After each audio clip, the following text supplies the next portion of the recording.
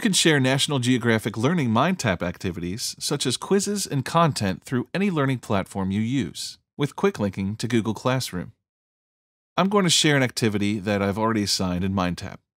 By assigning in MindTap, the activity will have a start date and due date, and it will then appear in the MindTap gradebook.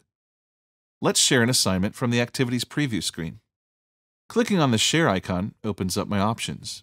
By copying this link, I can share the activity directly, either through email or my learning management system.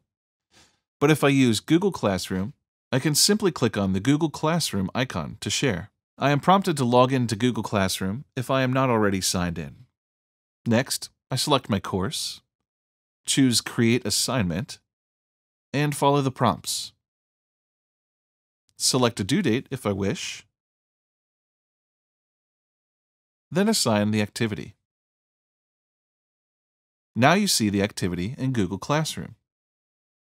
Now let's take a look at the experience from the student's perspective. I'm going to log into Google Classroom as a student. You can see the activity that's been assigned, and I can click into the assignment.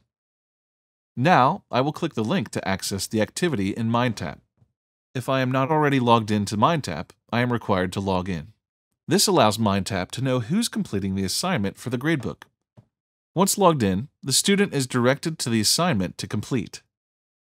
We've just seen how students can access MindTap activities from Google Classroom, but if they are logged into MindTap, they can also access the same activities in their assignment card, in the case where you as a teacher have first assigned the activity in MindTap.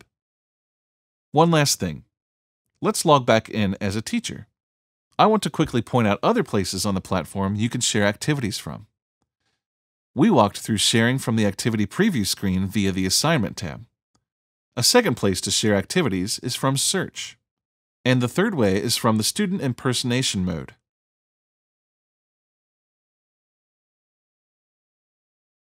There you go.